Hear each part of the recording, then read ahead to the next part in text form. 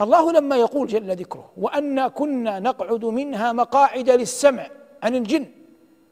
فهذا يدل على أنهم كانوا يصلون إلى خبر السماء.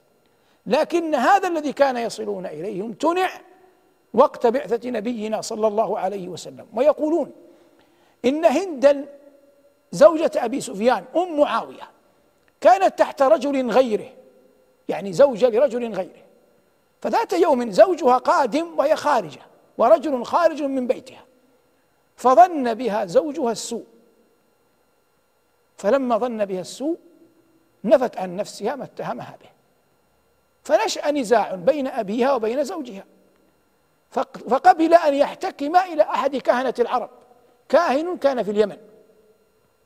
فقبل أن يخرج أبوها عتبة قال لها يا ابنتي لا حاجة لي أن تفضحيني بين الناس. إن كان ثمة أمر فأخبريني. فبينت لأبيها أن شيئا مما قاله زوجها لم يحدث. فخرج زوجها وأبوها وبعض قومها وذهبوا إلى الكاهن. اختبروا الكاهن قبل أن يصلوا إليه. ثم صفت كاه هند مع النساء. فأخذ الكاهن يمشي ويقول لكل أحد قومي أنت فلانة قومي كذا قومي كذا.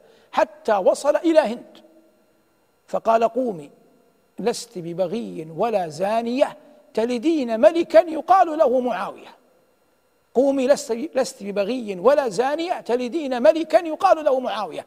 فقام زوجها تشبث بها. قالت هيهات ليس إليك. يعني يولد لمعاوية لكن ليس منك.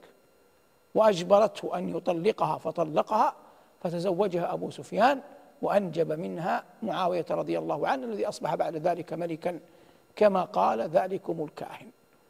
لكن هذا باب شر باب شر عظيم. لأنهم يأخذون الناس عن الدين ويأتون بصدق بقول صادق واحد يجمعون له ومعه كثيرا من الأباطيل ويجمعون معه كثيرا من الأباطيل. ولهذا قال صلى الله عليه وسلم من أتى كاهنا أو عرافا فصدقه فقد كفر بما أنزل على بما أنزل على محمد.